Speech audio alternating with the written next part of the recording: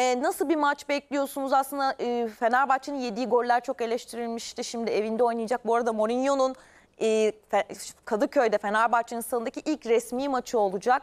E, bu açıdan e, nasıl bir karşılaşma olur rakibi de değerlendirdiğiniz zaman? Bir de şu, tabii ona girmeden önce şunu Melike söyleyeyim. Ee, yani Ferdi sol çizgide de başlayabilir. Yani Osterwolde ile de ikili oynayabilir. Güçlü ayağı sağ ile içeri kat edip işte yani geçen maçta da öyle golü buldu. Yeri geldiğinde de sağ çizgide Tadiş'le de değişebilir. Yani set ucumu daha ucumu genişletirlerse daha düz ayaklı oyuncuyla oynarsa ters ayaklı değil Jose Mourinho bu sefer de Ferdi'yi sağda görebiliriz ama büyük olasılıkla solda başlayacak. Tabii e, ilk maça geldiğimizde ilk maçta eleştirildi ama ben ilk maçta Fenerbahçe'nin yediği goller bireysel hatalar. Şimdi bireysel hata e, özellikle sistemle ilgili ise burada bir sıkıntı var. Ama bireysel hata işte top ayağınızda rakibe veriyorsunuz. O ara sistemle ilgili e, yani pozisyon alma değil de sisteme orada bir şekilde uymayıp dengeyi bozuyorsunuz savunmanın. Böyle goller yedi. Yani sistem içi de yediği gol vardı. Bir gol. iki tane çok bireysel hatayla yedi. Yani ilk maçta belki Fenerbahçe tur biletini çok rahat e, cebine koyardı. Ama dediğim gibi Jose Mourinho evet Fenerbahçe 4 dörtlük lige hazır mı veya Avrupa'ya değil. Gerçi hiçbir takımımız hazır değil. Hazırlık maçlarında net bunu gördük.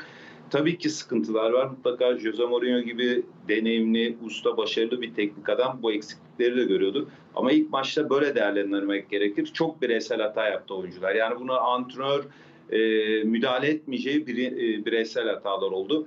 İlk maçta baz aldığımızda ilk 25 dakika Fenerbahçe'nin bir de çözmesi gereken bu problem olduğunu düşünüyorum. Lugano'dan hem ilk golü yedi hem 20-25 dakika Lugano'nun özellikle ön alanda yaptığı prese bir şekilde kıramadı.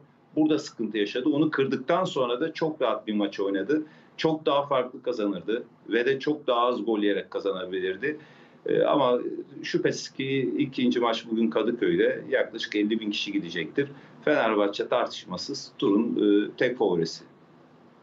E, Şimdi Real Kapsal, e, Mourinho'nun biraz da tarzını seninle değerlendirelim, konuşalım isterim. Maç içinde e, ne gibi değişiklikler bekliyorsun? Hem oyuncu olarak hem sistem olarak neler bekliyorsun Jose Mourinho'dan? Bir de basın toplantısında da kendisiyle konuşuldu. Çok fazla eleme oynamaya alışık değil. Genelde gruplardan dahil olan bir e, teknik direktör olduğu için onun için de bir yolculuk aslında bu.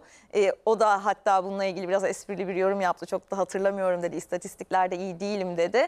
E, Fenerbahçe'nin bununla beraber yani Mourinho'nun e, biraz oyunuyla ilgili konuştuktan sonra Fenerbahçe'nin Şampiyonlar Ligi'ndeki e, geleceğiyle ilgili öngörülerin neler merak ediyorum. Şimdi öncelikle oyun baktığımızda evet 3 gol yenmiş. Yani şöyle bir düşünürsen ya 3 gol yenmiş, baskı kıramamış ilk 20-25 dakika diye düşünebilirsiniz. Ama mutlaka ondan sonrasında doğru değerlendirmek gerekir. Fenerbahçe lehine gelişen neredeyse yani Fenerbahçe'nin bireysel hatayı yapmasa 20 dakikadan sonra tek kale oynadı. Biz Lugano maçı seyrettik. Lugano zaten Fenerbahçe ayarında veya Fenerbahçe'ye böyle çok zorluk çıkaracak bir takım değildi. Ee, ama nitekim 3 gol yendi. Az önce de bunun altını çizerek söyledim. Bunlar bireysel hata. Bunu doğru ayıklamak gerekir. Yani sağ içindeki Fenerbahçe'nin esas oyun dengesinden bahsetmek gerekir. Bana göre oyun dengesi her geçen gün daha iyi gittiğini düşünüyorum. Bu hazırlık maçlarında da öyleydi. En son Lugano maçında yeniden goller haricinde bir oyun dengesi var. Yani sağ içinde ne yaptığını bilen rollerin doğru dağıtıldığı bir Fenerbahçe var.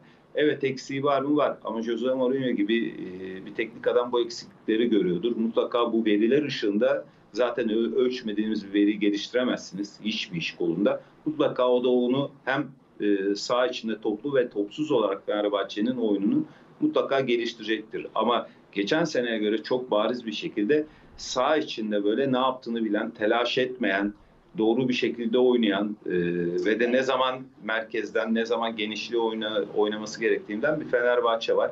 Ben bu hikayenin sizin sorduğunuz ikinci soru yani Şampiyonlar Ligi'nde yani Şampiyonlar Ligi'nde zaten Jose Mourinho'yu alıyorsanız bazı şeyleri de satın almanız gerekir. Nedir?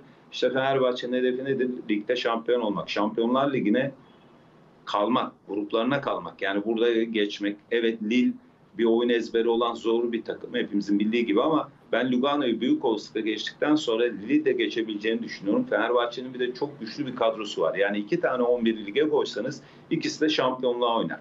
Şampiyon olur olmaz ayrı. Bütün takımlar için söylüyorum bunu. Ama Fenerbahçe'nin e, 2-11'i de net bir şekilde şampiyonluğa oynayabilecek potansiyeli olan bir kadro. Bir de Kuruniç'i sormak istiyorum Real Kapsal. Çok eleştiri vardı yine Mourinho 11'de tercih etti. Tabii ki en başta da söylemiştim yeni transferler bundan sonrasında farklı şekillenebilir ama e, Kuruniç'le ilgili senin e, yorumun değerlendirmen ne? Hem hazırlık kampı hem ilk maçı baz aldığımız zaman.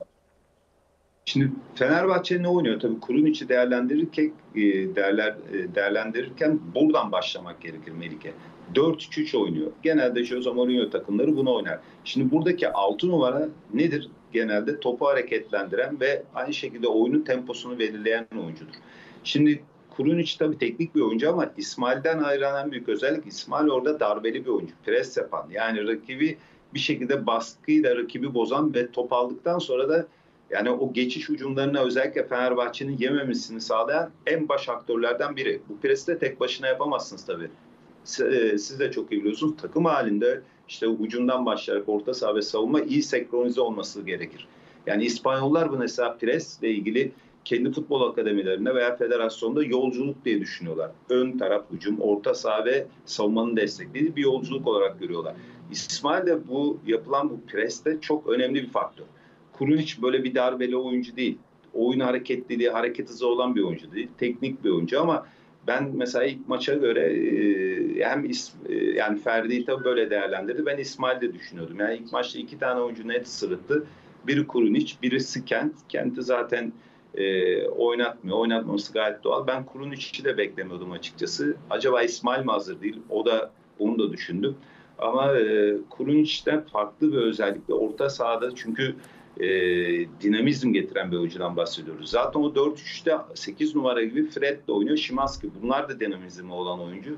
Herhalde orada oyun kurumunda çünkü şöyle bir şey alırsınız e, saha içinde o sistem için sistem içinde o diziliş 2-1-7'ye döner. İki kenar beki e, Samuel'le genelde Osterwelde öne çıkar 2-1-7'ye döner. Böyle bir şekilde kurulumda lazım size.